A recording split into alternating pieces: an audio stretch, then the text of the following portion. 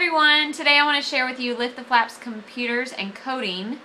This is recommended for seven years plus, but I can imagine many adults, myself included, um, I do not understand how computers work whatsoever. So this would be uh, helpful, helpful for that. What is coding? Uh, drawing a program. What's not good about them? And then it goes the other direction what's inside, so it goes um, details into the computer and how it works. Other computer books include Coding for Beginners using Scratch and Look Inside How Computers Work. This one is $14.99.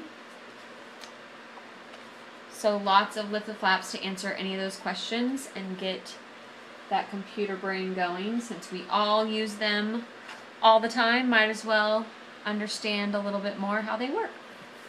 So again, this is Lift the Flap Computers and Coding. Bye.